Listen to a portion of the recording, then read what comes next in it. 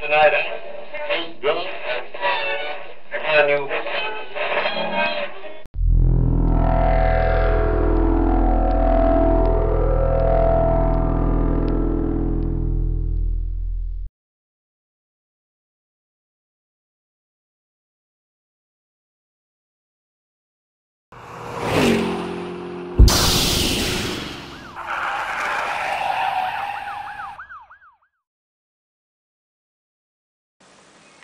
Guys, you see who it is? Had a couple buddies over, and I thought it was common knowledge that uh, everybody knew that the GoPro had an app that worked on the iTouch to control it wirelessly. Not only control, but use it as a viewfinder. Works on its own wireless, not home wireless. It's its own connection between the two. It's actually pretty cool. I haven't worked on the range yet. But anyways, I'll take you through because I thought it was just common knowledge, but Anyways, that's the power button on the front. Is your Bluetooth button. Press and hold. See we have a light. So that means now, it should flash again, we're Bluetooth enabled. So, power off. We still have Bluetooth. So now we go to the iTouch. And in here it says GoPro.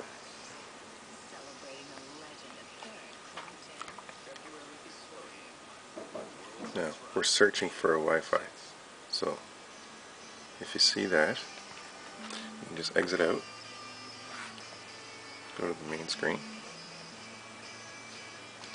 And under Wi-Fi sorry. Look.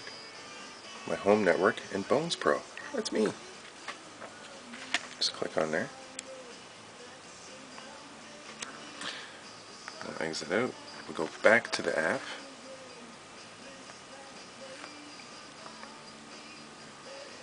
Look at that. Connect and control. so now, I'm trying to get both in the same. We'll turn the power on. And that powers up the camera. You see that? Wirelessly, that's fantastic. I'm getting our preview here. And you're going to hear everything.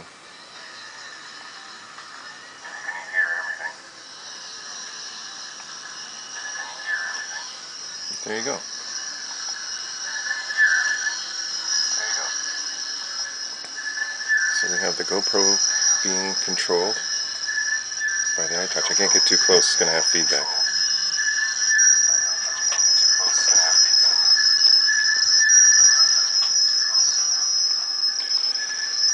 So, on here you have your controls. Jeez, can't focus in. Anyways, now I'm recording. You see the red light on the camera? Flashing. Now it stops.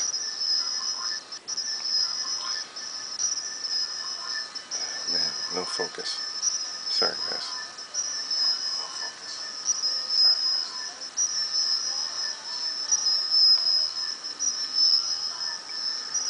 Now, it's so hard to see, but you can switch between video, camera, burst mode, uh, everything. It's awesome.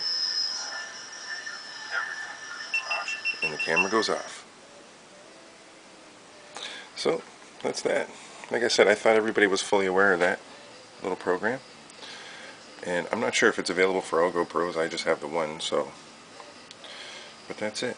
GoPro app gives you a little photo of the day, video of the day. I never watch them, but yeah. A nice combination of the two. Yellow Bone 69. Thanks for watching.